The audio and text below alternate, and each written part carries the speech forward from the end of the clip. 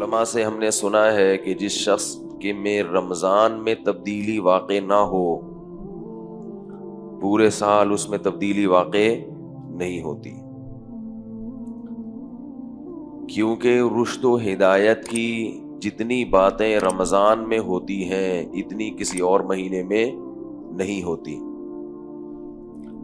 और जितना मुजाहिदा रमज़ान में होता है, इतना किसी और महीने में नहीं होता। इंसान अल्लाह के जितना करीब रमज़ान में होता है, किसी और महीने में अल्लाह के इतना करीब नहीं होता। इसलिए अगर रमज़ान में आप तब्दील नहीं हुए और अपने दिल की दुनिया को आबाद नहीं किया अल्लाह की याद से, अल्लाह की मोहब्बत से तो फिर इस दिल में दुनिया की मोहब्बत के कांटे चुभते रहेंगे।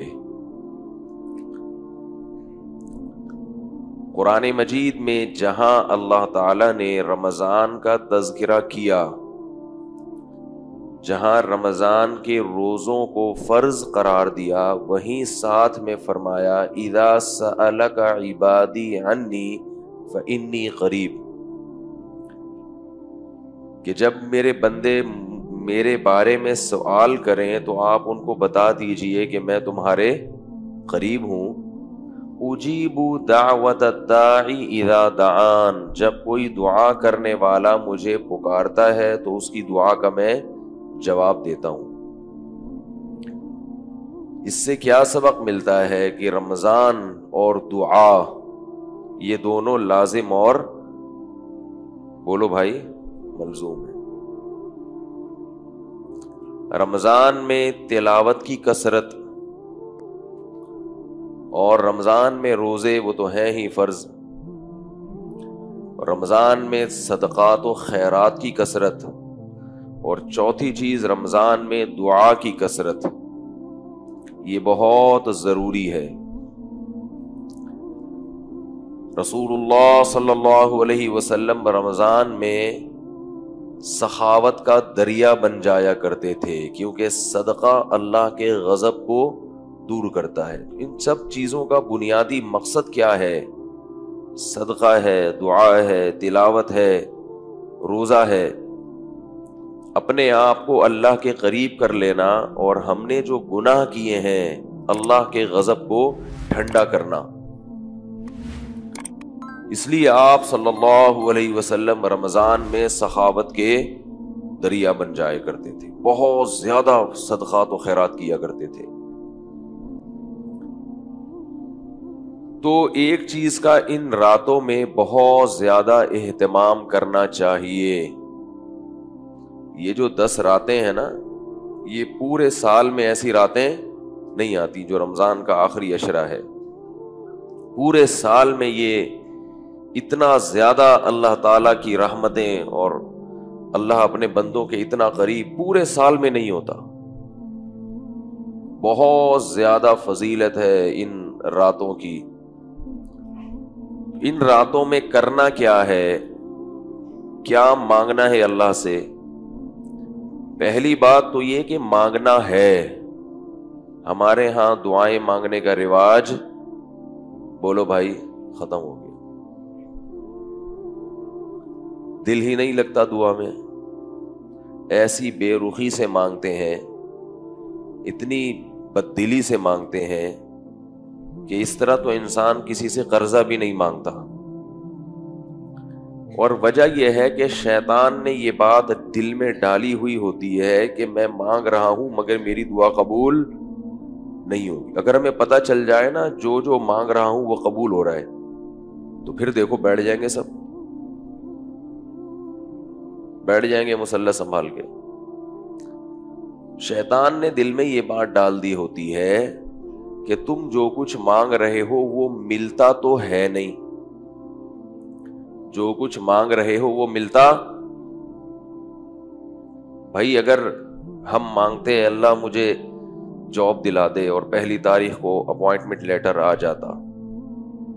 सुबह अल्लाह, दुआ कबूल हो रही है। बेरोजगार आदमी खुद भी मांग रहा है। मौलवी साहब से भी कहता है, मेरे लिए दुआ करो। मगर जो बेरोजगार है, वो बेरोजगार का बेरोजगार ही रहता है।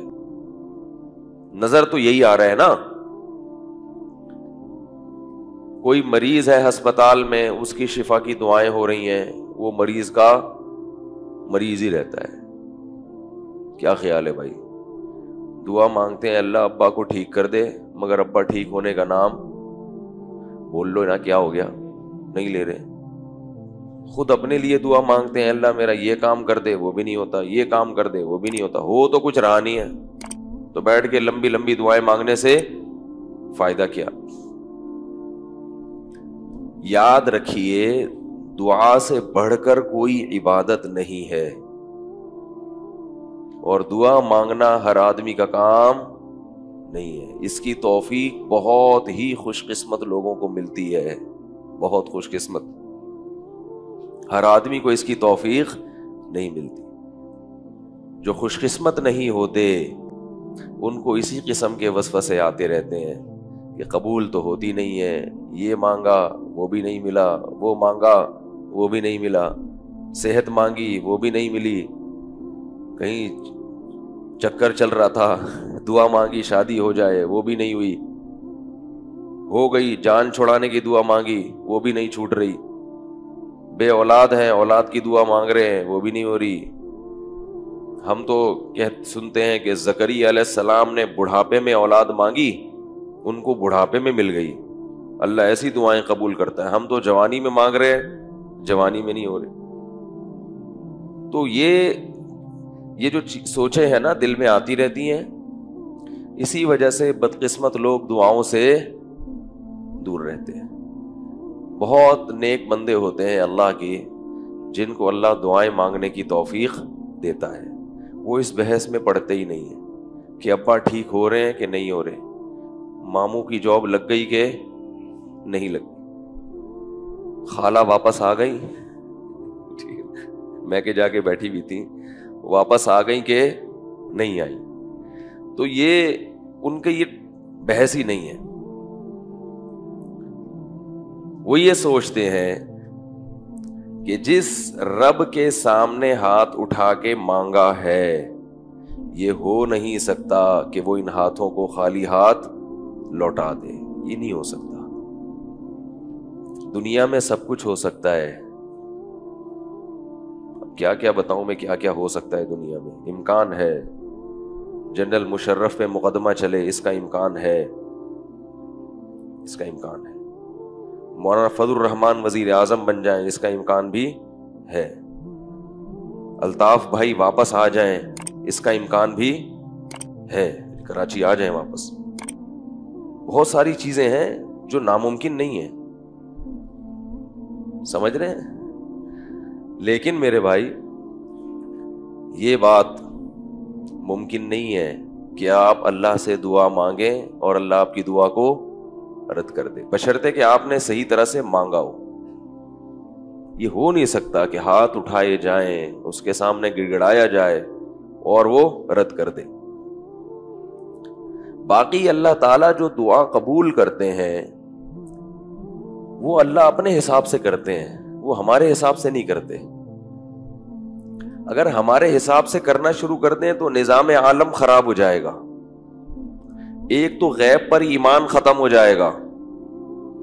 गैब पर यकीन वो बाकी नहीं रहेगा। अगर मैंने दुआ मांगी कि अल्लाह फला को ठीक कर दे और फ़ौरन ठीक हो गया तो अस्पताल तो बंद हो जाएँगे ना भाई? भाई, अस्पताल तो बंद हो जाएँगे, डॉक्टरों डॉक्टर सारे क्या हो जाएँगे? बेरोजगार। और कब्रस्तान में मुर्दे दफन होना? बोलो भाई, खत्म। कब्रस्तान में कौन जाएगा फिर? तो हमारा काम है दुआ। बेरोजगार अगर सारे, अल्लाह ताला कुरान में फरमाते हैं कि अगर हम वलऊ बसत इबादी ही अल्लाह अगर ज़मीन में रिस्क की इतनी फरावानी कर दे कि कोई भी बेरोजगार न रहे और सबको खूब मिले लबगौफिल अर्ज़ तो सारे इंसान मेरे नाफरमान बन जाएँगे। ज़मीन में क्या फैल जाएगी? सरकशी। हमने ज़मीन में किसी को दौलत ज़्यादा दी, किसी को दौलत कम दी। लियत बादन सुखरिया। बाज लोग बाज के मातहत बन के रहे, वरना सारे क्या बन जाएँगे? सरदार बन जाएँगे। निज़ाम आलम खराब हो जाएगा। मैंने दुआ मांगी, अल्लाह ये काम हो जाए, वो फ़ौरन हो गया। आपने मांगी, वो काम हो जाए। इसका एक नुकसान ये भी है कि लोग फिर दुआएँ मांगने के लिए कुरान मजीद की तरगीबात के मोहताज नहीं रहेंगे। ये तो काफिर भी मांगेगा दुआएँ। काफिर भी कहेगा कि भाई, यूँ करके अल्लाह से मांगो तो दुआ कबूल होती है तो क्या ज़रूरत है ये सारे बखेड़ों में पड़ने की? दुआ कबूल लाजमी होती है, मगर अल्लाह ने दुआ की कबूलियत का मामला गैब के पर्दों में छुपा दिया है। कैसे होगी वो मैं जैसे चाहूँगा वैसे होगी। नज़र बसा औकात कबूल होते हुए नहीं आती। कभी दिखा भी देते हैं कि मैंने किया ये काम। लेकिन अक्सर दुआ की कबूलियत का हमें इल्म नहीं होता। लिहाजा नेक लोग और खुशकिस्मत लोग जो अल्लाह से खजाने लेना चाहते हैं, वो दिन रात दुआएँ मांगते हैं अल्लाह से। खूब गिड़गड़ाते हैं। क्यों? इसलिए कि उनको पता है कि कोई भी चीज़ जाया, बोलो भाई, नहीं जा अब अल्लाह दुआ कबूल करते कैसे हैं? दुआएँ कबूल? भाई, हमें तो वो चीज़ मिल नहीं रही। हमने कहा, अल्लाह ठीक कर दे, बंदा ठीक नहीं हो रहा। वापस आ जाए, वापस नहीं आ रही। है भाई? चली जाए, जा नहीं रही। तो अब हम कैसे, हमें पता चलेगा कि दुआएँ कबूल हो रही हैं। तो दुआ की कबूलियत की मुख्तलिफ़ शक्लें होती हैं, मुख्तलिफ़ सूरतें होती हैं। दुआ की कबूलियत की बोलो भाई। बाज दफ़ा तो जो चीज़ मांग रहे हैं एज इट इज़ वो चीज़ आपको दे दी जाती है। लेकिन इंसान बदबख्त जब उसे वो चीज़ मिलती है तो उसे दुआ का नतीजा नहीं समझता। वो कहता है, ये तो होता है, कभी किसी को कोई चीज़ मिल भी जाती है और कभी किसी को वो चीज़ नहीं भी मिलती। तो बाज दफ़ा तो ऐसा होता है कि वो चीज़ आपको मिल जाती है। इमाम बुखारी रहमहुल्लाह ताला नाबीना हो गए थे बचपन में। उनकी वालदा ने पूरी रात मुसल्ला बिछा के दुआ मांगी कि मेरे बेटे को बीनाई मिल जाए। दुआ मांगते मांगते उनकी आँख लग गई। ख्वाब में फरिश्ते आए, आपस में बात कर रहे थे कि इस औरत की दुआ अल्लाह ने सुन ली है और इसके बेटे को बिनाई। बोलो भाई दे दी। सुबह उठे हैं तो देखा कि बेटे की बिनाई वापस आ गई थी। बाज दफ़ा अल्लाह इस तरह से दुआ कबूल, बोलो भाई, करते ऐसा होता है। मरीज़ लाइलाज होता है, आप दुआ मांगते हैं गिड़गिड़ा के अल्लाह से तो अल्लाह उस मरीज़ को शिफा दे देते हैं। ऐसा होता है, हमने देखा है अपनी आँखों से। बेरोजगार को रोज़गार मिल जाता है, रिस्क की फरावानी शुरू हो जाती है, लाइलाज मरीज़ ठीक हो जाते हैं। ये सब चीज़ें अपनी आँखों से हम दिन रात देखते हैं। बाज मर्तबा ऐसा होता है कि अल्लाह की तकदीर में लिखा होता है कि इसको ये चीज़ नहीं मिलेगी। अल्लाह वो चीज़ नहीं देना चाहते उसको, जो वो मांग रहा है। तो अल्लाह उसका नेमुल बदल अता कर देते हैं इंसान समझ रहे हो? नेमुल, बोलो भाई। नेमुल बदल आप चाह रहे थे कि यहाँ आपका मामला, आपको यहाँ जॉब मिल जाए। वहाँ नहीं मिली, अल्लाह ने कहीं और दिला दी। आपको तकलीफ़ होती है कि यार, ये तो मैंने गलत हो गया। मैं तो चाह रहा था इधर, यहाँ मेरे लिए मुस्तकबिल में राहें बहुत हैं। अल्लाह को पता है, यहाँ नहीं है। वहाँ तेरे लिए राहें बहुत हैं। तू समझ रहा है कि यहाँ नुकसान होगा, लेकिन यहाँ क्या होगा?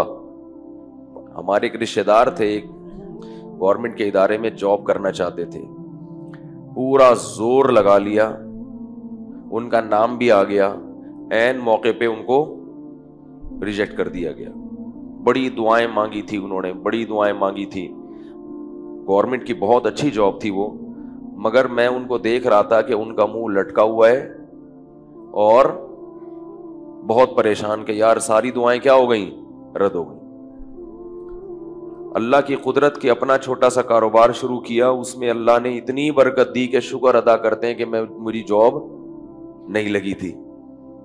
तो एक अंद, अंदाज ये भी होता है दुआ की बोलो भाई कबूलियत का। ये सब बातें उनके लिए है जो गैब पर ईमान रखते हैं। अल्लाह उसके रसूल पर ईमान रखते हैं। ये भी दुआ की कबूलियत का एक अंदाज होता है कि आपको वो चीज़ नहीं मिली, उसका कोई ऑल्टरनेट मिल गया, मुतवादिल मिल गया जो उससे भी अच्छा था। आपने शिफा की दुआ मांगी मरीज़ के लिए, मरीज़ को शिफा नहीं मिली, मर गया, लेकिन अल्लाह ने उसके बदले में उसको वहाँ अच्छा ठिकाना दे दिया। ऐसा ठिकाना कि वो कहता कि, शुक्र है मैं मजीद ज़िंदा नहीं रहा, ज़िंदा रहता तो कोई गुनाह ना कर लेता मैं। तो ये भी अल्लाह ने ऑल्टरनेट दे दिया ना मुतबादिल। साहब कराम जब गजबा उहद में शहीद हुए हैं, बहुत ज़्यादा नुकसान हुआ है। तो अल्लाह ने फरमाया कि इस शिकस्त में एक मसलहत ये भी थी वयतम शुहदा। अल्लाह तुम्हें शहादत के मरतबे पर फाइज करना चाहता था। शहादत की फजीलत देना चाहता था। ये बहुत बड़ी फजीलत है अल्लाह की नज़र में। तो बाज दफ़ा दुआ ऐसे कबूल होती है और बाज मरतबा दुआ ऐसे कबूल होती है कि जो चीज़ आप मांग रहे हैं वो नहीं मिलती। लेकिन जो मुसीबत आप पर आने वाली थी, अल्लाह उसके बदले में उस मुसीबत को आपसे टाल देते हैं। आपका बेटा बीमार है, आप दुआ मांग रहे हैं, अल्लाह इसको ठीक कर दे, ठीक कर दे, ठीक कर दे। अल्लाह के इल्म में यह बात थी कि इसका दूसरा भी बीमार होने वाला है। उसको भी क्या होने वाली है? बीमारी। तो पहला वाला तो ठीक नहीं हुआ, लेकिन दुआओं की बरकत से दूसरे से बीमारी को अल्लाह ने टाल दिया। अब हम चूँकि देख नहीं रहे होते कि हम पे क्या मुसीबतें टल रही हैं, कौन सी परेशानियाँ दूर हो रही हैं तो हम उसी पे परेशान होते रहते हैं, यार, मैं तो कब से दुआ मांग रहा हूँ और इंसान ठीक होने का नाम ले नहीं रहा। और एक अंदाज दुआ की कबूलियत का यह भी होता है कि कुछ ना हो, वो दुआ आखिरत में डिपॉजिट हो जाती है। वो क्या हो जाती है? अल्लाह के बैंक में जमा। और उस पर सूद लगता है फिर। क्या लगता है? सूद। बहुत बढ़ा चढ़ा के, क्योंकि अभी नहीं दिया ना उस दुआ का नतीजा, अभी नहीं मिला तो बाद में जब मिलता है तो अल्लाह का उसूल है कि अल्लाह के पास कोई भी चीज़ जमा कराएँगे तो जब बाद में मिलेगी ना तो वो बढ़ा के मिलती है। फिर कम, किस्तों पे चीज़ हमेशा महँगी होती है। तो जब बाद में मिलेगी, अल्लाह कहते हैं, या तो कैश ले लो, और अगर उधार पे चाहिए, बाद में चाहिए तो फिर ज़्यादा दूँगा मैं। कई गुना बढ़ाकर वो आखिरत में उसका अजर मिलेगा। और जब इंसान अपनी आँखों से उस दुआ के असरात को देखेगा तो वो कहेगा कि, काश मेरी कोई भी दुआ कबूल ना होती। इसलिए मेरे भाई, खुशकिस्मत इंसान वो है, जो दुआओं को फोकस करे और इस बहस में ना पड़े कि हो रही है कबूल के? नहीं हो। यकीन कर ले, हो रही है। हो रही है कबूल अल्लाह की हिकमत है, मसलहत है कि मुझे इस तरह से दिखा नहीं रहे। उसकी हिकमत है। हमने मांगना है। और जो लोग अल्लाह वाले होते हैं, जिनके दिलों में अल्लाह से मोहब्बत, उनको दुआ के एक फ़ायदा तो कैश हासिल होता है। दुआ में और कोई फ़ायदा हो या ना हो, ये फ़ायदा उनको फ़ौरन हासिल होता है। वो है दिल की तसल्ली। ना अपनी फ़ाइल कहाँ दाखिल कर दी है? अल्लाह की अदालत में। केस की समात क्या हो गई है? शुरू हो गई। एप्लीकेशन अल्लाह की फ़ाइल में बोलो भाई, उस पर नंबर लग गया है रजिस्ट्रेशन उसकी हो गई है। अब कब नंबर आता है? हमारा जो काम था, हमने वो कर दिया। लोग कहते हैं ना, भाई, मेरा काम अटका हुआ है यार, तुम करने, आप कह सकते हो, भाई, मैंने डॉक्यूमेंट्स तुम्हारे सारे जमा करा दे वीज़ा लगने का इंतज़ार है बस। है भाई। तुम्हारे सारे डॉक्यूमेंट्स हमने जमा करा दिए हैं। जो हमारा काम था, हमने वो कर लिया आराम से चुप करके बैठ जाओ। होता है ना ऐसे? तो उन्हें तसल्ली होती है कि अहकमुल हाकिमीन के दफ्तर में अपनी हाजत की फ़ाइल हमने जमा, बोलो भाई, करा दी है। हमारा जो काम था वो हमने कर लिया है। तो तसल्ली, ये तसल्ली बहुत बड़ी चीज़ है। दुनिया में अगर किस, कोई चीज़ मार्केट से शार्ट है तो वो तसल्ली है। हर आदमी स्ट्रेस में है और डिप्रेशन का मरीज़ बना हुआ है। सब कुछ हो के भी परेशान है, पता नहीं कुछ हो ना जाए। ऐसा खौफ जिसकी कोई रीजन नहीं है। यानी सब कुछ है, मगर फिर भी डर रहा है कि कहीं कुछ हो ना जाए। जिस शख्स का अल्लाह पर ईमान नहीं होता, अल्लाह पे एतमाद और तवक्ल नहीं होता, सारे असबाब और वसाइल के होते हुए भी खौफजदा होता है। और जिसका अल्लाह पर ईमान होता है, कुछ ना होते हुए भी उसको एक तसल्ली होती है। याकूब सलाम की मिसाल हमारे सामने है। बेटा गुम गया, दुआएँ मांगते रहे सारी ज़िंदगी, मांगते रहे, मांग, एक दफ़ा भी मायूस नहीं हुए। जर्रा बराबरी में मायूसी।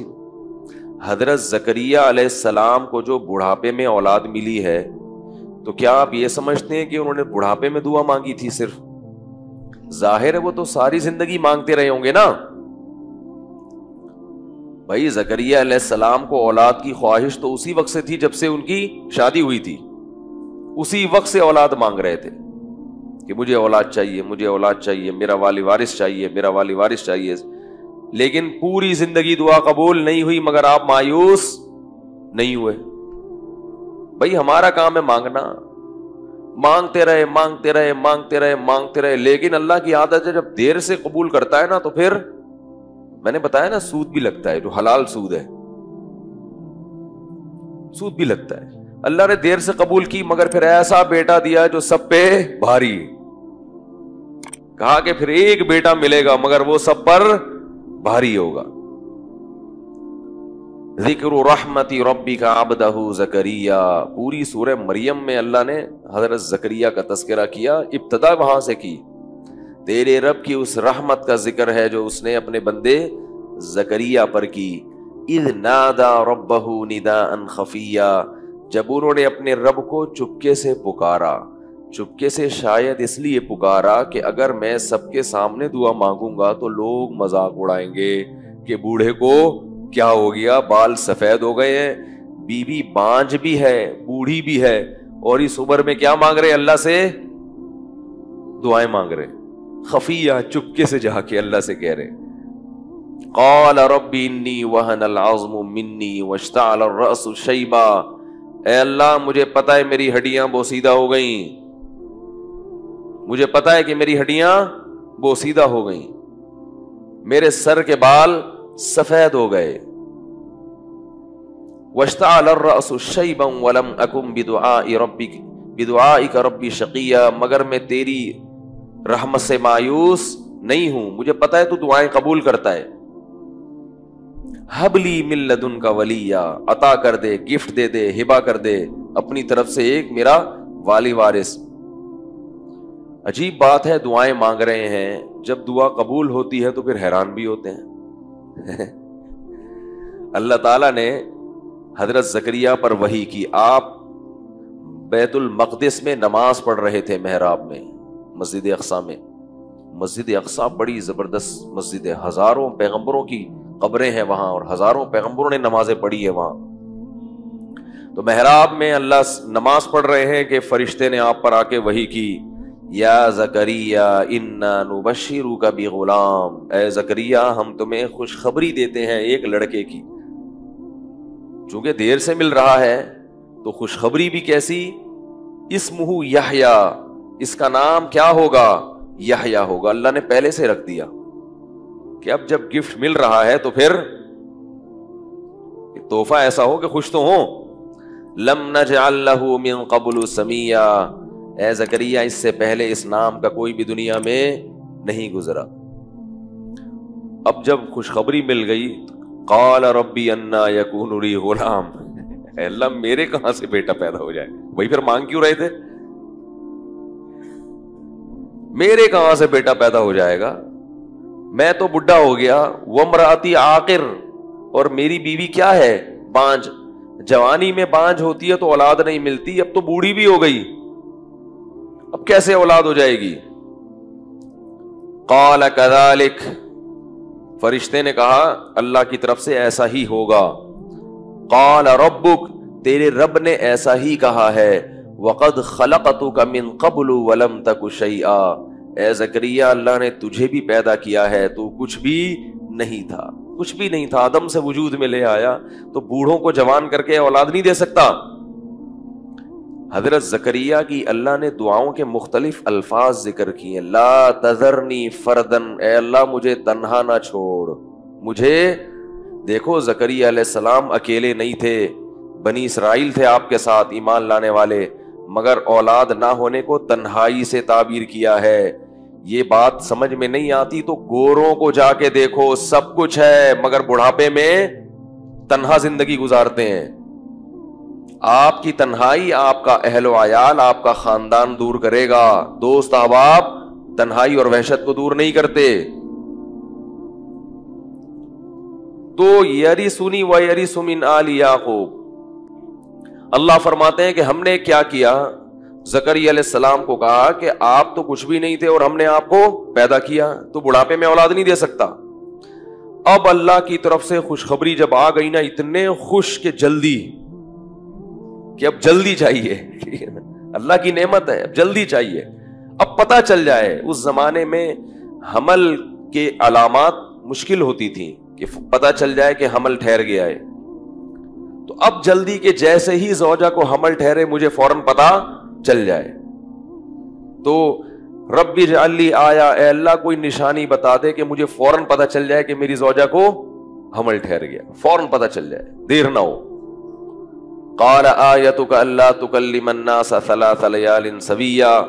ए जकरिया, तेरी जबान बंद हो जाएगी तीन दिन के लिए। तू सिर्फ़ इशारों से बात कर सकेगा।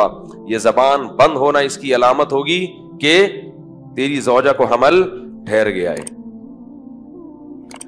अल्लाह ने सूर्य अंबिया में फरमाया कि हमने उनकी जौजा को भी सेहत दी और औलाद दी। क्यों? बड़े अहम अल्फाज हैं। फरमाया, इस बुढ़ापे में जकरिया और उसकी बीवी के साथ रहमत का ये मामला कि असबाब एक तरफ़ उन तमाम असबाब को अल्लाह ने फेल कर दिया। ये मामला क्यों किया? कानू युसारिऊन फिल खैरात। ये दोनों नेकियों में बढ़ चढ़ के आगे बढ़ा करते थे। शोहर भी और बीवी भी। ये सारी का माना मुकाबला होता था। शोहर चाहता था कि मेरी नेकियाँ ज़्यादा हों, बीवी चाहती थी कि तो अल्लाह ताला फिर उनकी दुआओं को कबूल करते हैं और ऐसे ऐसी नेमतें उनके साथ करते हैं जो आम लोगों के साथ नहीं होती। और उनको नेक औलादे देकर नवाजते भी हैं। आज अल्लाह के लिए हम कुछ भी करने के लिए तैयार नहीं हैं और अल्लाह से अपनी सारी बातें मनवाना चाहते हैं। सारे काम अल्लाह हमारे कर दे। हम अल्लाह के लिए बोलो भाई। कुछ भी ना करें। ऐसा नहीं होगा भाई। अल्लाह को कुर्बानी देने वालों की अदाएँ पसंद हैं। तो जकरी सलाम को बुढ़ापे में औलाद की खुशखबरी मिली तो अल्लाह फरमाते या या खुदिल किताब हुक्म सबिया। कुरान का अंदाज है। ये नहीं कहा कुरान ने कि फिर बेटा पैदा हो गया, फिर बड़ा हुआ, फिर ये हुआ। ना ना ना। ए यहया, इस किताब को मजबूती से थाम ले। वातनाहुल्हुक्म सबिया, फरमाया, हमने उनको बचपन में ही नबूवत अता कर दी। ईसा सलाम और याहिया सलाम, ये दो पैगंबर हैं जिनको नबूवत बचपन में मिली है। तो देखो भाई, मैं जल्दी से बात को समेटता हूँ कि दुआएँ मांगने में बहुल से काम नहीं ले। अब दुआओं में हो क्या रहा है? इज्तिमाही दुआओं को ज़्यादा फोकस किया जा रहा है, इनफिरादी पर ज़ोर। इज्तिमाही भी जायज़ हैं, दुआ सिखाने के लिए कभी कभार इमाम साहब को चाहिए कि इज्तिमाही दुआ कराए ताकि लोगों को दुआ के बोल याद हो। दुआ करना है यह भी ठीक है, ज़रूरी है, लेकिन दुआ में असल क्या है? इनफिरादी। क्यों? कुरान कहता है उदू रब्बकुम तदर्रुआ व खुफिया। अपने रब को पुकारो आजजी के साथ और चुपके से। दुआओं में चीखो पुकार अल्लाह को पसंद? बोलो भाई, नहीं। चीखो पुकार तो वैसे भी अल्लाह को पसंद नहीं है। सूर्य लुकमान में है ना, वक्जुज बिन सऊदिक अपनी आवाज़ को क्या करो? बस करो। इन्ना अन करल असवाती लसऊतुल हमीर, सबसे बुरी आवाज़ किसकी है? गधे की। क्यों बुरी आवाज़ है? क्या बात गलत करता है गधा? बात तो वही करता है, दूसरे जानवर कर रहे होते हैं। भाई, गधे को घास चाहिए तो बोलता है वो, घोड़े को घास चाहिए, वो भी बोलता है, बिल्ली को गोश्त चाहिए, वो भी म्याऊ म्याऊ करती है। गधे की बात गलत नहीं होती, स्टाइल गलत होता है। भाई, तुझे कुछ चाहिए तो आराम से भी कह सकता है ना? क्या हो गया भाई? भाई गधे को कुछ चाहिए तो तमीज से भी कह सकता है। इसलिए मैं कहता हूँ, जनाब तोसीफुररहमान राशदी मेरे लिए इंतहाई काबिल एहतराम है, मगर बात करने में थोड़ी सी तमीज की थोड़ी सी क्या है? कमी है। इसी तरह एक और साहब है, उन्हीं के हम असर हैं। तो इन हजरात के जब क्लिप मेरे पास आते हैं ना कि इनका इल्मी अंदाज से जवाब दें तो मैं कहता हूँ, वो इल्मी अंदाज से गुफ्तगु होगी तो मैं इल्मी अंदाज से जवाब दूँ क्लिप सुनते ही हमारे सर में दर्द शुरू हो जाता है। अजीब स्टाइल है बात करने का। इनके बाबे ने ये लिखा, उनके चाचे ने ये लिखा, वो गुस्ताख रसूल, ये जार इस्लाम से। पता नहीं क्या कह रहे हो भाई, तुम तमीज से अपनी बात इल्मी अंदाज, रद्द भी करो तो जितनी बात है उस पर रद्द करो, उसको तूल देने की कोशिश। मेरी किसी बात पर एतराज़ है कि इसने मिसाल के तौर पर एक गलत इल्ज़ाम लगा दिया, एक किसी बुज़ुर्ग पे फ़र्ज़ करो, अल्लाह ना करे मैं ऐसा करूँ। तो आप टू द पॉइंट बात करें, ये इन्होंने ये कहा है, हालाँकि ये इसका मतलब ये है।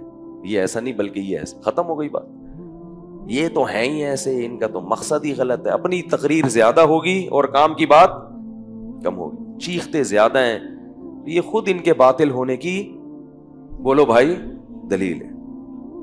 गधा इतना बुरा नहीं लगता चीखता हुआ, जितना ये चीखते हुए बुरे लगते तो इसलिए कोई तमीज से बात करना का होगा तो फिर उसका क्लिप इंसान सुनता है कि जनाब गामदी साहब में एक अच्छी बात है कि बात तमीज से करते हैं। बात गलत होती है बसा औकात, लेकिन कम अज कम सुनी जा सकती है कि तमीज से होती है, कोई लबो लहजे में कुछ है शाइस्तगी। तो इसलिए मैं कहता हूँ कि वो इन हजरात को भी चाहिए कि थोड़ी सी उन्दी से तमीज सीख लो। तो बाकी मैं ये नहीं कह रहा कि गामदी साहब बातें सही करते हैं, वो बातें बड़ी अजीब अजीब बातें भी करते हैं। कुछ सही भी होती है, लेकिन माशाल्लाह उस पर मैं रद्द करता रहता हूँ उसकी अभी डिटेल में जाने की ज़रूरत नहीं है। लेकिन अल्लाह ने कुरान में क्या फरमाया, सबसे बुरी आवाज़ किसकी है? गधे की। हालाँकि गधे की बातें गलत नहीं होती। स्टाइल क्या होता है? गलत। स्टाइल की बड़ी अहमियत है इस्लाम।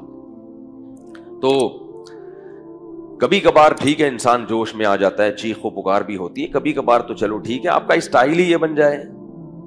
क्या आपका पता ही नहीं चल रहा कि आप इंसान हो, आपको कोई अच्छे ख़ानदान से ताल्लुक़ रखते भी हो या क्या है आपका कुछ अजीब तो फिर ये मामला ख़राब हो जाता है। फिर हमसे नहीं सुना जाता है क्योंकि इंसान ऐसी चीज़ें सुन के उसके अपने अखलाक भी ख़राब होते हैं। वो फिर आके इसी स्टाइल में शुरू कर देगा।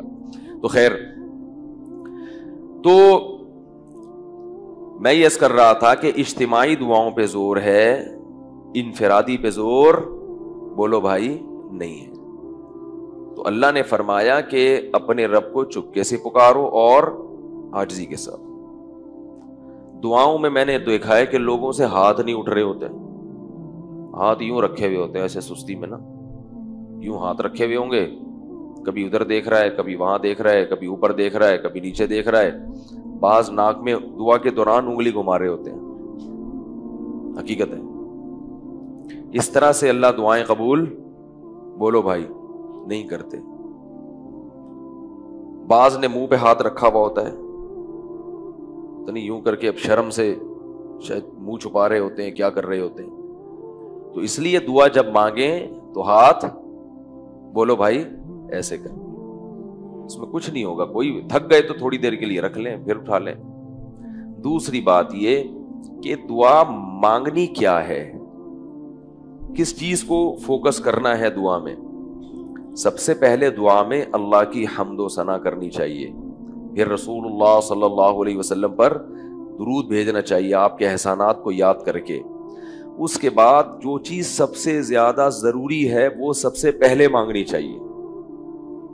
भाई, आप एक बहुत बड़े बादशाह के दरबार में गए। आपको पता है कि ये मुझे हीरे जवाहरात की बोरियाँ दे सकता है और आप उससे जाके पान मांग रहे हो गुटका मांग रहे हो। तो वो कहेगा कि भाई तू मेरे पास आया है, कोई अच्छी चीज़ मांग ले। जब अच्छी चीज़ें, आला चीज़ें खत्म हो जाए तो फिर गुटके पे भी आ जाएँगे, निस्वार की डिबियाँ भी दे देंगे तुझे। अभी तो जो बड़ी बड़ी चीज़ें हैं, पहले वो तो मांग।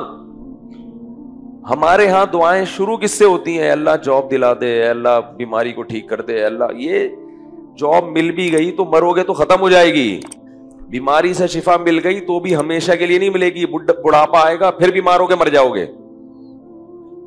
ये दुनिया की नेमतें हैं, ये मिल भी गई तो दोबारा फिर छिनेंगी। हमेशा के लिए किसी को नहीं मिलेंगी। असल घर है आखिरत, जहाँ हमेशा हमेशा के लिए रहना है तो आखिरत को ज़्यादा मांगना चाहिए। क्या अल्लाह, मुझे क्या चाहिए? बोलो भाई, आखिरत पहले है, दुनिया बाद में। उसकी अहमियत ज़्यादा होनी चाहिए। हदीस में हमें दुआ सिखाई है ला ए अल्लाह, अगर हमारी किस्मत में कोई मुसीबत लिखी हुई है तो हमारे दीन को उससे बचा के रखना। नहीं, आ रही बात। यानी अल्लाह, असल तो यह कि हर मुसीबत से हमें बचा। लेकिन अगर मुसीबत आनी ही है, लिख दिया है तूने तो हमारा दीन उससे महफूज। दुनिया की तरफ़ फेर देना, दुनिया का नुकसान कर देना, मगर आखिरत का नुकसान ना करना, क्योंकि दुनिया के नुकसान की तलाफी होगी, आखिरत के नुकसान की तलाफी नहीं हो सकती। सहाबा कराम की दुआएँ क्या होती थी जो नबी के पास आके दुआएँ मंगवाते थे? आजकल लोग पता है क्या दुआ मंगवाते हैं? सबसे ज़्यादा जो मेरे पास मैसेजेस आते हैं ना, कि बहुत ही ज़्यादा ज़रूरी काम है मुफ्ती साहब से। ऐसे मैसेजेस आए हुए होते हैं कि अगर मैंने इसका फ़ोन नहीं उठाया तो ये मर जाएगा, बिल्डिंग से छलांग लगा देगा। ये जो मैं इतना ज़्यादा इन चीज़ों में बोलता हूँ ना शादियों वाली, भाई, ये इन्हीं की वजह से बोलता हूँ मैं। नौजवानों में चल क्या रहा है? बहुत ज़्यादा ज़रूरी काम है। हज़रत फ़ोन नहीं उठाया तो मर जाऊँगा। मुफ्ती किस बात के हो? ऐसे ताने। तो मुझे ये होता है कि पता नहीं कोई मर रहा होगा, अभी इसने वसीयत करनी है तो मैं बस दफ़ा कॉल बैक कर लेता केस यही निकलता है। सेटिंग चल रही है। हकीकत बता रहा हूँ। अब्बा मान नहीं रहे। अब्बा ने भी इंकार कर दिया, माँ भी नहीं मान रही, और मेरे भी अब्बा नहीं मान रहे, मेरी भी अम्मा नहीं मान रही, और अब तो लड़की ने भी इनकार कर दिया। मैं मशवरा लेना चाहता हूँ आपसे, क्या करूँ? अभी कुछ दिन पहले एक साहब आए, वो यही कह रहे थे, यहाँ मस्जिद में आए। अब्बा नहीं भी मान रहे अम्मा भी नहीं मान रही, अपने मेरे अब्बा भी नहीं, उस, उसके अब्बा भी नहीं, मेरी अम्मा भी नहीं, उसकी अम्मा भी नहीं, और पहले तो वो मान रही थी वो भी नहीं। इसके लिए उन्होंने क्या लिया? टाइम मांगा मुझसे। आपसे बहुत ज़रूरी मुलाकात। ना जब उसके बाप मान रहा है, ना उसकी माँ मान रही है, ना तेरा बाप राज़ी, ना तेरी माँ राज़ी, और ना वो लड़की राज़ी। तो क्या अंधी लगी हुई है भाई? शादी में आए हो क्या? इतने मज़े दसों उंगलियाँ घी में? ऐसा थोड़ी होता है। निकलो पतली गली से। कह रहे थे कोई वजीफा। मैंने कहा, कोई वजीफा निकलो यहाँ से। तो ज़्यादातर दुआएँ क्या होती हैं? कोई दुनिया का काम अटका हुआ है और वो काम पूरा हो जाए। ठीक है, इंसान है, दुनिया भी मांगनी चाहिए। हदीस में आता है, जूते का तस्मा भी अल्लाह से मांगो, वो टूट जाए तो। लेकिन जो चीज़ जितनी ज़्यादा ज़रूरी है, उसको उतना ज़्यादा फोकस करना चाहिए। सबसे ज़्यादा ज़रूरी क्या है? कामयाबी की डेफिनेशन क्या है? हमारे यहाँ कामयाबी की डेफिनेशन अच्छी सेहत अच्छा घर, नेक औलाद और बैंक बैलेंस ये कामयाबी की डेफिनेशन है। देखो, हम अल्लाह पर ईमान रखते हैं, कुरान पर ईमान रखते हैं। कुरान ने बताया, फमन नार, व उदखिल जन्नत फ़कत फाज जिसे मैंने जहन्नम की आग से बचा लिया और जन्नत में दाखिल कर दिया। ये है हकीकी मानों में कामयाब। ये है कामयाब। तो सबसे ज़्यादा अल्लाह से जहन्नम की पनाह और जन्नत मांगनी चाहिए। सबसे ज़्यादा, ए अल्लाह, मुझे कब्र के आजाब से बचा, मैदान हशर की सख्तियों से बचा, वो दिन जो इंसान को बूढ़ा कर देगा। ए अल्लाह, मुझे जहन्नम की आग से बचा। कुरान में अल्लाह ने नेक बंदों की जो सिफात बयान की हैं, उनकी दुआएँ लाजमी बयान की हैं। अंबिया के जहाँ अल्लाह वाकयात बयान करते हैं, नबियों की दुआओं का भी तस्करा करते हैं कि नबी ने ये दुआ मांगी, नबी ने ये दुआ मांगी, नबी ने ये दुआ मांगी, फला नबी ने ये दुआ मांगी। वो दुआओं के अल्फाज बड़े खूबसूरत होते हैं। अंबिया बहुत दुआएँ मांगा करते थे। हालाँकि अंबिया तो बख्शे बख्शाए हैं। उनको क्या ज़रूरत थी? तो अल्लाह ने अपने नेक बंदों की दुआओं में जो, नेक बंदों का जो तस्करा किया ना सूर्य फुरकान का आखिरी रुकू वबादरहमानदीन यमशून अलअर्द हौन व इज़ा ख़ातबहुमुल जाहिलून क़ालू सलामा वल्लदीन यबीतून लिरब्बिहिम सुज्जदन व क़ियामा वल्लदीन यक़ूलून रब्बना स्रिफ अन्ना अज़ाब जहन्नम इन्न अज़ाबहा कान गरामा इन्नहा साअत मुस्तक़र्रन व मुक़ामा फरमाया दो किस्म के लोग हैं कुछ शैतान के बंदे और कुछ रहमान के बंदे, शैतान के बंदों की सिफात बयान करने की ज़रूरत नहीं है। वो मार्केट में इतने ज़्यादा हैं कि तुम्हें खुद ब खुद उनकी सिफात नज़र आ जाएँगी। उनकी ज़रूरत नहीं है कि वो क्या करते हैं। वो चोर भी होते हैं, वो चक्के भी होते हैं, वो पीने पिलाने से शखफ भी रखते हैं। वो माँ बाप के नाफरमान भी होते हैं, वो सूद भी खाते हैं, वो करप भी होते हैं, वो जालिम भी होते हैं। उनकी सिफात बयान करने की ज़रूरत बोलो भाई नहीं है। वो ऐश परस भी होते हैं। वो नमाज़ नहीं पढ़ते, वो जक़ात नहीं देते, वो हज नहीं करते। रहमान के बंदे हैं ना, अल्लाह ने उनकी सिफात को हाईलाइट किया है। इबादुर्रहमान यमशून हौना, फरमाया, ज़मीन में आजजी के साथ चलते हैं। आज देखो, जरा सा कोई ओहदा आ जाए ना तो अपनी औकात भूल जाता है। मैं ये हूँ, मैं ये हूँ, मैं यूँ हूँ, मैं फलाना हूँ। और फरमाया कि यबीतून लिरब्बिहिम सुज्जदम व रातें गुजरती हैं सजदे और क़याम में। ये जो तरावी की नमाज़ हम पढ़ते हैं ना, ये बार बार उठक बैठक होती है इसमें। रुकू, सजदा, फिर उठना, फिर रुकू, सजदा। तो अल्लाह को ये अदा भी पसंद आती है। इन्नहु यरा कहीन तकूम व तकल्लुब कफी साजिदीन। तकल्लुब किसे कहते हैं? उलटने पलटने को। अल्लाह ने अपने नबी को तसल्ली दी कि आप गम ना करें जब आप नमाज़ के लिए खड़े होते हैं नमाजियों के दरमियान तो अल्लाह आपके इस अमल को देख रहा होता है। और सजदा करने वालों में आप जो उलट पुलट रहे होते हैं बार बार सजदे, रुकू, सहाबा के साथ अल्लाह इस अमल को भी बोलो, भाई, देख रहा होता है। तो ये तरावी में इसकी बड़ी अच्छी मिसाल मिलती है कि बार बार सरदा फिर रुकू, फिर सरदा फिर रुकू, फिर क्याम। तो ये जो उलटना पलटना है, तकल्लुब है, अल्लाह इस अमल को देख भी रहे होते हैं और देखकर खुश भी हो रहे होते हैं और खास अपने पैगंबर को अल्लाह बता भी रहे हैं कि मैं इस अमल को देख रहा हूँ। तो क्या कह रहा था मैं? छोटी सी बात थी। हाँ अल्लाह ने अपने बंदों की सिफत बयान की, यबीतून अली व क़ियामा। रातों को सरदे और क़याम क़याम करते हैं। पहले पूरा साल तो मुसलमान रात में इबादत नहीं करता था, रमज़ान में रातों को कर लिया करता था। और रमज़ान में फिर छूटी तो आखिरी अशरे में तो करना। पहले तो ऐसा होता था कि तहज सब पढ़ते थे पूरे साल। भाई, ये तो बहुत अहम नमाज़ है। जब मुसलमानों में दीनी कमज़ोरी आई तो तहज सिर्फ़ रह गई रमज़ान में, कि भाई, रमज़ान में तो रातों की इबादत करनी है, जो लोग पूरे साल नहीं करते। फिर रमज़ान से भी गई और किसमें आ गई? कि भाई चलो आखिरी अशरा है, इसमें तो इबादत कर लो। और फिर आखिरी अशरे की जुफ्त रातों से निकल के सिमट के आ गई कहा? ताक रातों में।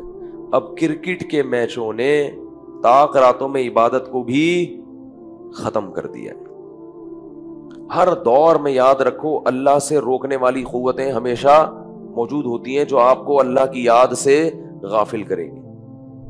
क्रिकेट को क्या ज़रूरत है रमज़ान की रातों में खेलने की अल्लाह के तिलावत करो, नमाज़ पढ़ो, ज़िक्र कर लो।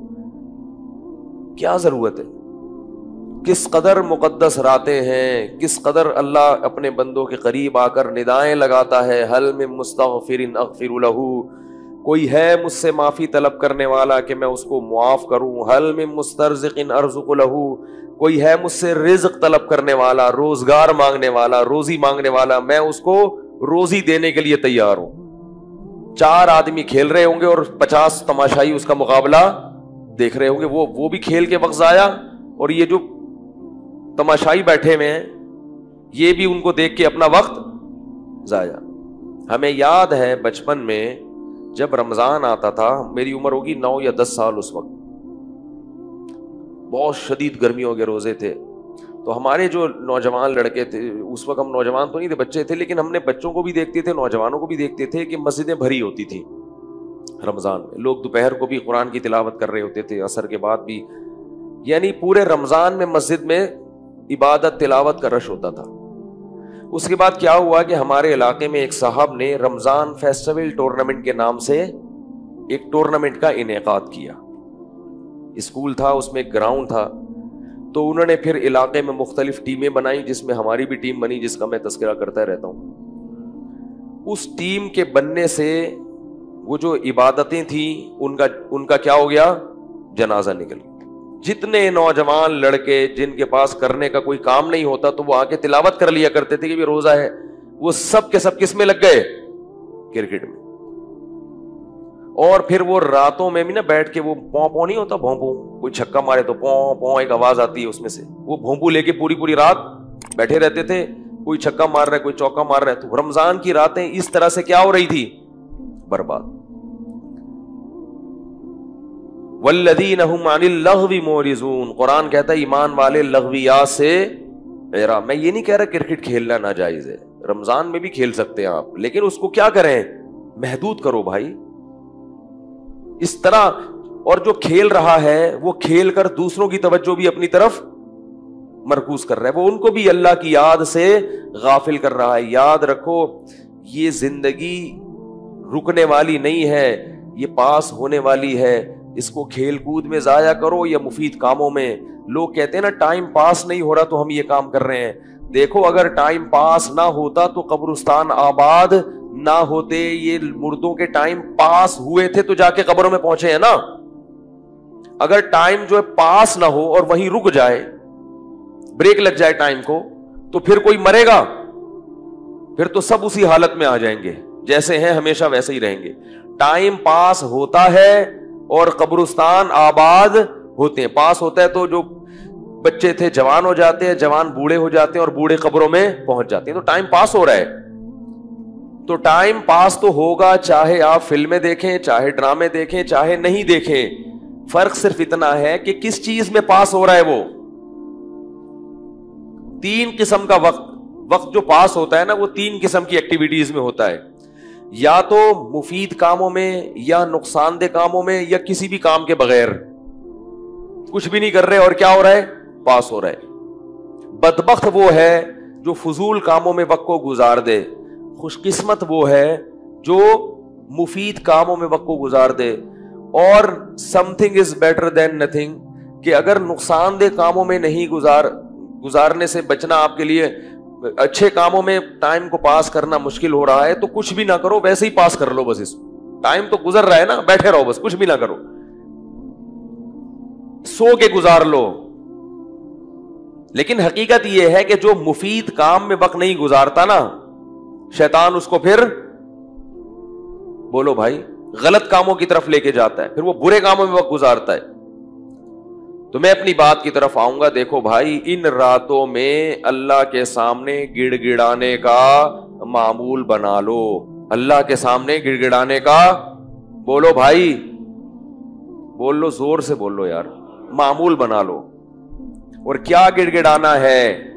कि अल्लाह मुझे जहन्नम की आग से बचा और जन्नत में दाखिल फरमा। आखिरी बात, जहन्नम की आग से बचाने का मतलब क्या है? बहुत अहम पॉइंट लोग कहते हैं कि अल्लाह मैं फ़िल्में देख रहा हूँ, वो देखता रहूँ, लेकिन जहन्नम की आग से मुझे बचा ले। मैं माँ बाप को सताता हूँ, वो तो ठीक है, लेकिन आग से मुझे बचा ले। मैं सूद खा रहा हूँ बैंक में जॉब कर रहा हूँ सूदी बैंक में, वो तो मजबूरी है, लेकिन अल्लाह जहन्नम की आग से मुझे बोलो भाई, बचा ले। अल्लाह, मैं दाढ़ी नहीं रखता लेकिन जहन्नम की आग से मुझे बचा ले। ए अल्लाह, मैं नमाज़ नहीं पढ़ता, बस माफ़ कर दे। तू बड़ा गफूर रहीम है। ये मतलब नहीं है। ये मतलब ये मज़ाक है शरीयत के साथ। क्योंकि अल्लाह ने गुनाहों पर जहन्नम का वादा किया और नेक अमाल पर जन्नत का। तो जब जन्नत मांगी जाती है, जन्नत वाले अमाल के साथ और जब जहन्नम से पनाह मांगी जाती है तो जहन्नम वाले अमाल से भी पनाह मांगी जाती है। ये मतलब होता है, जब कोई कहता है, अल्लाह मुझे जहन्नम से बचा ले तो मतलब ये है कि उन अमाल से बचा ले जो मुझे जहन्नम के करीब लेके जाते हैं। हदीस में दुआ सिखाई है, अल्लाहुम्मा इन्नी अऊज़ु बिका मिनन्नार वमा कर्रबा इलैहा मिन कौली व अमल। ए अल्लाह मुझे जहन्नम की आग से बचा और हर उस कौल और अमल से जो जहन्नम की आग के करीब कर दे।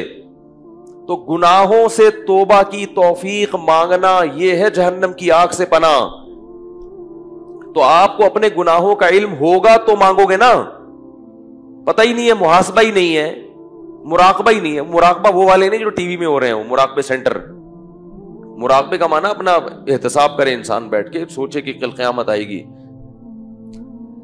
तो सोचते ही नहीं है। तो भाई कहाँ से जहन्नम की आग से बचत होगी? कुल्लन अखदना बिजम्बी ही अल्लाह फरमाते हैं, हर कौम को हमने उसके गुनाह पे पकड़ा है, हर कौम को। गुनाहों पे अल्लाह का आजाब आता है। गुनाह करके अल्लाह से रहमत की उम्मीदें लगाना परले दर्जे की हमाकत और बेवकूफ़ी है।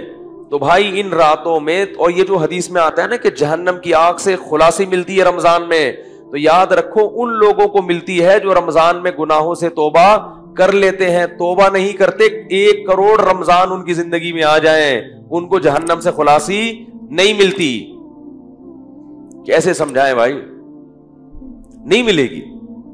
अगर आपने इस रमज़ान में इंटरनेट पर बेहुदा फ़िल्में देखने से तोबा नहीं की, सच्ची तोबा, जहन्नम की आँख से खुलासी नहीं मिलेगी।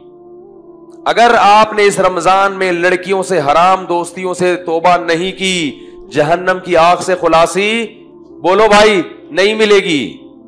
अगर आपने बूढ़े माँ बाप के सामने अपने लहजे को सख्त करने से तोबा नहीं की, जहन्नम से खुलासी नहीं मिलेगी। जिना से, शराब से, जुए से, जुआ बहुत खेला जा रहा है। स्नोकर स्नोकर जो खेले जाते हैं ना उनमें, जुआ बहुत खेला जा रहा है उसमें। क्रिकेट में जुआ लगा के खेल रहे हैं लोग। इन नमल खमरू वल मई सिरू वल अनसाब वल अजाम रिजसुन अल्लाह ने फरमाई ये रिज है, जुआ और शराब। शैतानी अमल है, छोड़ दो इसको।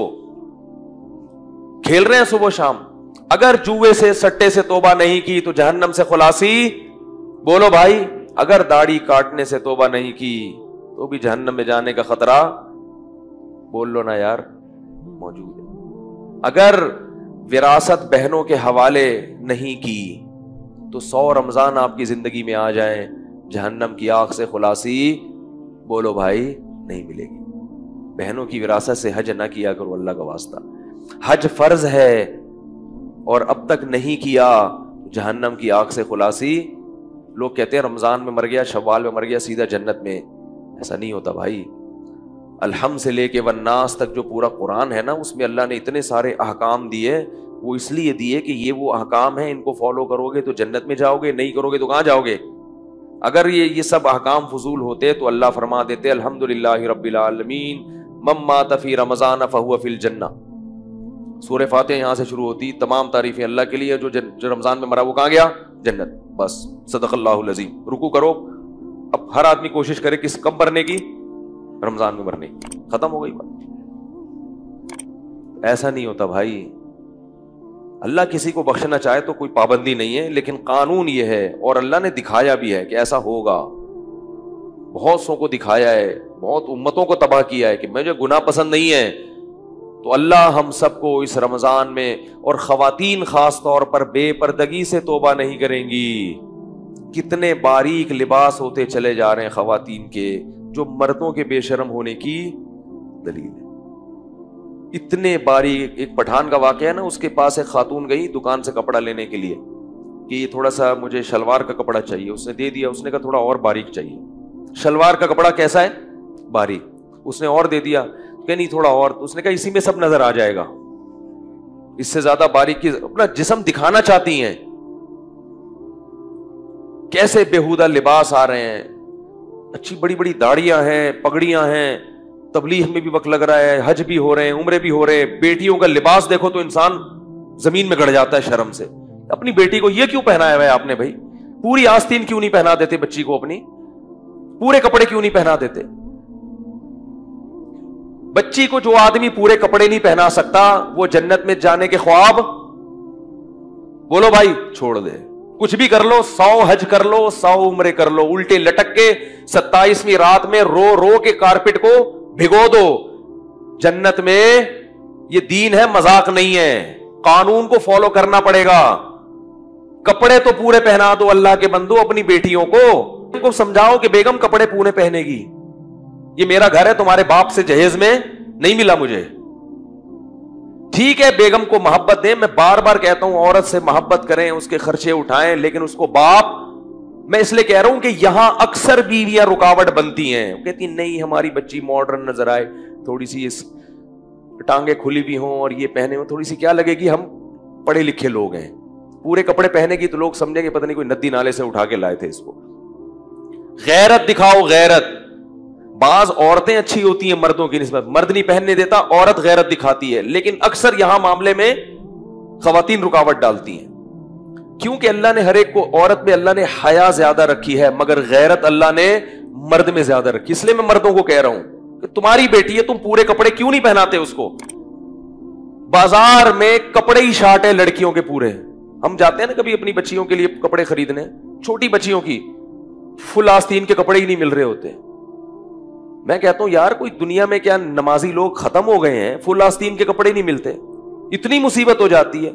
और यही हाल मक्का, मदीना का भी है। सऊदी अरब से हमारे एक दोस्त, हमारी भतीजी के लिए कुछ कपड़े ले, गिफ्ट में लाना चाहते थे। कहते हैं, पूरी मार्केटें तलाश कर ली, कोई शलवार कमीज नहीं मिली। मक्का, मदीना में पैंटें बिक रही हैं लड़कियों के लिए, पतलूने बिक रही हैं।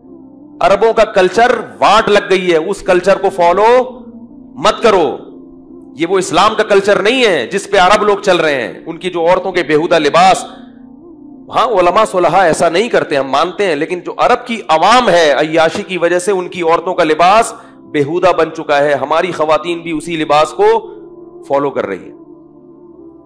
तो मेरे भाई, जन्नत में जाने के ख्वाब, बोलो भाई, छोड़ दो। ना महरम के सामने आपको अपने जिसम को छुपाना पड़ेगा। और अपनी बेटियों को हाँ बेटी बाले हो गई कंट्रोल से बाहर हो गई। किसी की बेटी बेपर्दा घूम रही हो, मैं उससे बदगुमान नहीं होता। हो सकता है कि बाप ने मेहनत की हो और बेटी ने उसको कबूल ना किया हो। बाकी हो गई हो, बाकी भी हो जाती है। लेकिन नाबालिग बच्ची बहरहाल आपके कंट्रोल में, जब तक तेरह साल की है तो उस वक्त तक तो आपके कंट्रोल में है ना वो? फिर भी अगर मेरे भाई आपके कंट्रोल में नहीं है और आप कहते हो, मैं बेगम के सामने आजिज हूँ तो ऐसा करो कि आप चूड़ियाँ पहन के बेगम बन जाओ। और बेगम को क्या कर दो? शोहर का खिताब दे दो। क्योंकि आप कमा कमा के खिला भी रहे हो और इतनी भी नहीं घर में चला सकते कि अपनी बच्चों को आप दुपट्टा उड़वा दो तो आपको बेगम होना चाहिए शनाख्ती कार्ड में, नाम चेंज करवा लो, उसका पहले अपना, बोलो भाई बाद में। और जब वो मरे तो चार महीने, दस दिन की इद्दत गुजारे आप। और अपने नाम के साथ बेवा लगा दें। ये क्या बात है? आधा आदमी, आधा औरत तो फिर पूरे बनो, एक तरफ़ हो जाओ, ये दरमियान वाली चीज़ सही नहीं होती। अल्लाह हम सबको गुनाहों से बचने की तोफ़ी अता फरमाए। सुबह नशहदु